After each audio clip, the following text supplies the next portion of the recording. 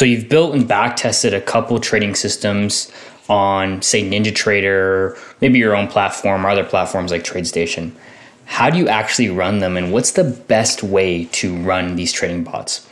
In today's video, I'm going to be showing you how to run trading systems in NinjaTrader specifically. However, you can take these tips to other platforms or your own if you have built your own framework. But this video is specifically going to focus on NinjaTrader, which is the platform I use to run all my trading systems and my portfolio. So let's just paint a picture here.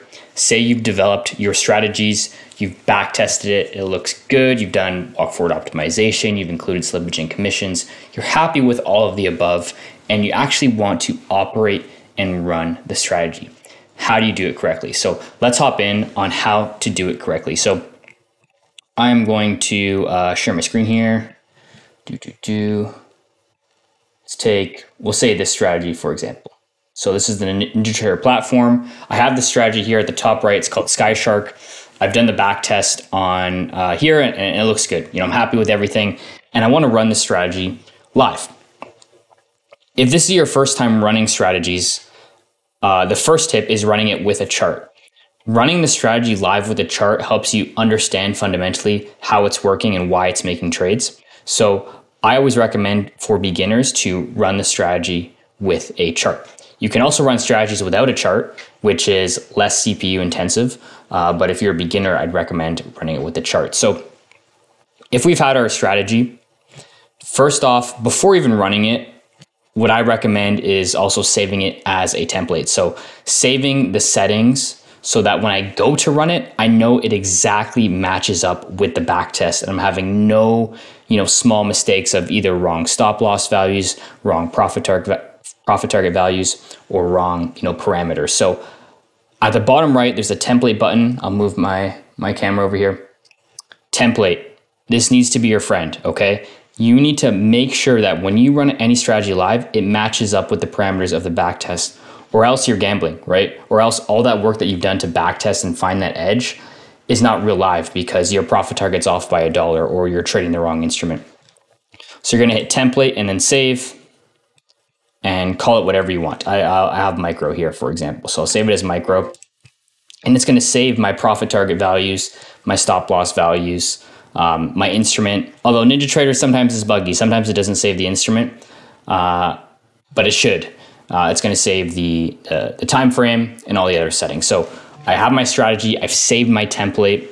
Maybe you want to have an Excel sheet too with all these settings just as a double check. So you can do that as well. Maybe have a, a separate Excel sheet um, where you input these, although there, there could be some user input error. But we've saved our template. We have it locked in. Now we want to run the strategy live. So take a mental note, you know, we know SkyShark uh, trades MES on 10 minute. That's what we developed it on. So I'm going to go to my, my NinjaTrader main screen. Let me just connect to my, uh, my data feed here. So as a beginner, I recommend running in a chart so you understand how it's trading.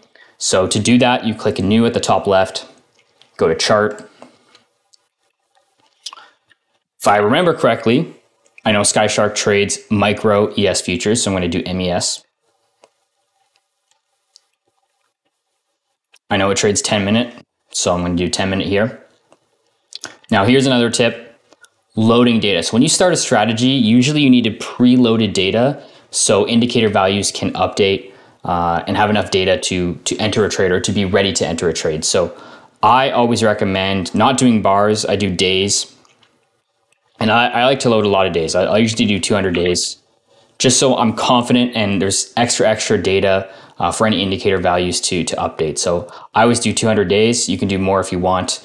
But if you do too little, what happens is that your strategy may not enter for a while, right? If you're using a 50 period SMA or 200 period SMA, especially on days, and you only load five to 10 days, it's never going to enter a trade because it doesn't have those 200 days for that SMA or, say, RSI to load. So you want to load more days than what you need so you have that buffer. So always set it to 200 on days to load. Another big thing is the trading hours.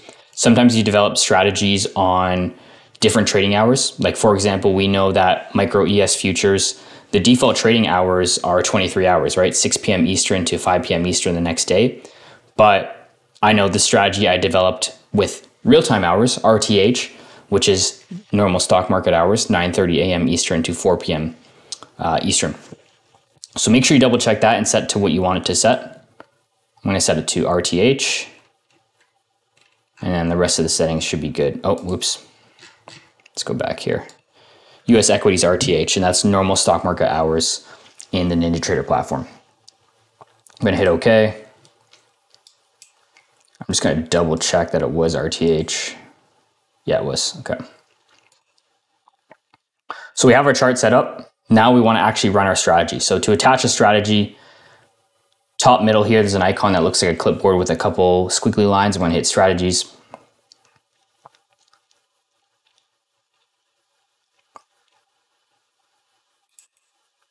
I'm going to add SkyShark.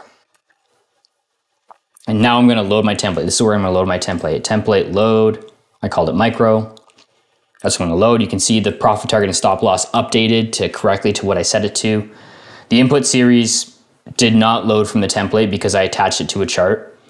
That is the one con, the one downside of running strategies in a chart is that your template settings for the instrument and the time frame will not save and you'll have to manually enter those.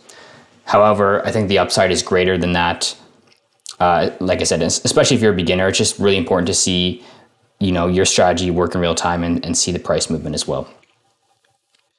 Um, other tips, obviously your account. So if you want to trade this with a live account, you'd want to select your live account here. The default is Sim 101, which is a paper slash simulation account. The rest of the settings should be default on bar close, make sure this is definitely set unless you specifically developed your strategy to trade on tick or on price range. 99% of the time, you want to leave this on bar close. Uh, changing it otherwise can have catastrophic um, catastrophic events, probably on the downside because it's going to be now calculating on, on price change or on each tick. But you usually want to use on bar close. And for most realistic strategies, you're going to be using on bar close. Start behavior is another question I get a lot as well. 99% of the time use wait until flat. And what that means is that when the strategy starts and it, hypo- it hypothetically basically does a back test with those days to load that we set. So remember when we set it to 200, it's going to do a sample back test on those 200 days. And then after that back test is done, it's going to switch into a real time state. If hypothetically it's in a position in that back test the wait until flat setting is going to wait until that hypothetical position is out of a trade. All right. So if you turn on your strategy and it was in a trade from last night and it hasn't exited yet, your strategy will not start live when you start it. It will kind of stay in that historical state until that profit target or stop loss or exit signal is hit. Then once that hits, it the, you'll see the strategy turn green, and then uh, it will go live. 99% of the time, you won't wait until flat. Just leave it as that. The 1% of the time, and this sh- should very, very rarely happen, you may want to immediately submit synchronize account. When you want to do this is usually two reasons. A, you, for whatever reason, want to be in a position right away with the strategy for maybe, you know, you have some type of, you just want to get into the market really, really quickly or B, you had an issue with your strategy, you had to turn it off, or maybe you got disconnected, which obviously rarely happens, uh, or you had a bug in the code, and you want to re enable your strategy, but you're actually in a position, in a live position in your account. If that were to happen, then you do want to immediately submit synchronized account.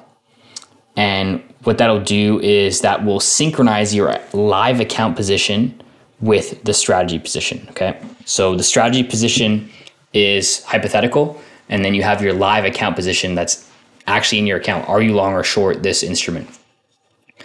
And if it's supposed to be in a position, it will synchronize the two. So it'll take the strategy position and the live account position and synchronize it.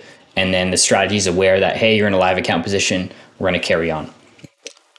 But that's 1% of the time, right? Like I said, it doesn't happen very often that you're having an issue with your strategy midway through the day or through the trading session. So wait until flat, definitely this is your default. Uh, other settings, um, exit on session close. This is another parameter you want to double check sometimes. You know, make sure if you develop your strategy to exit on session close that it's checked. Obviously, your template, when you load it, should pre populate this, but double check that. I've had a couple issues in the past where I had a, a, day trading strategy that wasn't checked and it wasn't exiting. And that could be problematic, right? If you developed a strategy to exit on the session close and it's not live, that's that's a massive uh, discrepancy. So double check that, make sure that's good. Then once you're happy, there's an enabled checkbox here. And I'm gonna hit apply and okay. So now the strategy is active, SkyShark. You can see it's green, right? That means the strategy is running, it's synced with my account.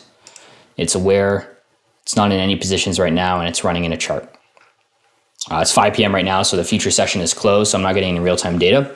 But this is also a good time to check that you're getting real-time data and that price is moving uh, and whatnot. And uh, you can see the previous trades here as well. So this is why I recommend, you know, starting a strategy with a chart as a beginner because you can see previous trades and how it's trading as well. Plus, if you have indicators on here, they'll, they'll show up in the chart as well. And it's great for beginners. However, once you get more and more strategies, you don't want too many charts open. Once you start getting past 10 to 20 strategies live, it's sort of annoying to have 10 to 20 charts open. So you can run strategies without charts. Uh, and I'll give you a sneak peek of what that looks like. Here's my one of my dev servers. Uh, you can see some of the strategies there and how they're all running. So you can start strategies without a chart as well. Uh, to simply do that, you just go to the strategies tab in NinjaTrader right click anywhere on the screen, hit new strategy. We'll do the same one. Let's do SkyShark again. Then I will load my template. Remember, templates very important, very, very, very important. Load my template. I loaded everything, and it did lo load my instrument and time settings and my trading hours. My days to load is five. We don't want that. We want more data. We want enough buffer data to load, right? So I'm gonna change that to 200 and then everything else is okay. Now you will notice there's no enabled checkbox on strategies without charts. I'm not sure why, but if I hit OK, it makes another SkyShark instance here. But this time it's not attached to a chart. So you have to enable it through the, the strategies tab and you won't actually know um, how the chart looks like. Obviously, if it's in a position, you'll see this will update to one uh, S for one short or one L for one long. But um, you won't be able to see it in a chart. So that's okay. Uh, but that's another way to do that. If you have, you know, only three to five strategies, definitely do charts. It's, it's easier to visualize and it gives you more confidence that it's working correctly. But once you start using NinjaTrader for a while, I'd say six months to a year, uh, you know, it's okay to start strategies without charts, and, that's what I do because I've I have over ten, and I don't want I don't want ten charts open. Uh, it's just too slow and, and laggy. But that's how you you run strategies and kind of some best tips to to follow on running strategies with NinjaTrader. Now, if you're running strategies with TradeStation or your own proprietary platform, I think there's a lot of tips you can take forward with that as well. Um, tips like loading enough data for your indicators to load, I think you can take to any platform or your own. Make sure you have enough data so that your, your indicators or signals can, can look at the previous historical price data and have enough data to start making decisions. Uh, that's a big one. And then, of course, running with charts. If I recall correctly, TradeStation, you can only run strategies with charts. You cannot run strategies without them. So, uh, TradeStation, you have to run it with charts. Uh, but other platforms, it may be beneficial as a beginner just to get that boost of confidence that things are working correctly.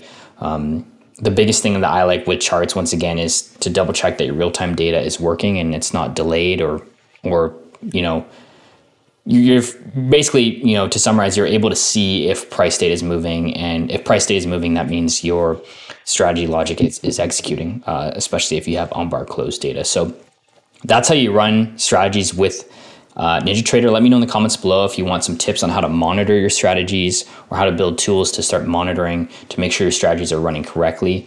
Uh, I think you guys could see some value in that, but let me know in the comments below. That's all for today's video, and we'll see you next week. Peace out, guys.